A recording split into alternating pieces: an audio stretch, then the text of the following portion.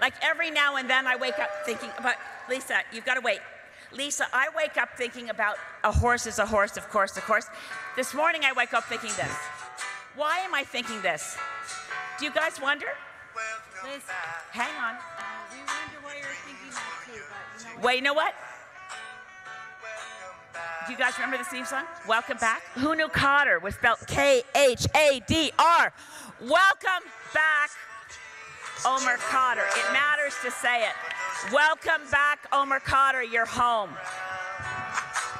Does it strike you as unusual? I didn't use up my time. No, you didn't. There's a lot unusual about your speech, Liz, but we're going to take off. Omar Khadr, you got more class than the whole fucking cabinet. Thank you.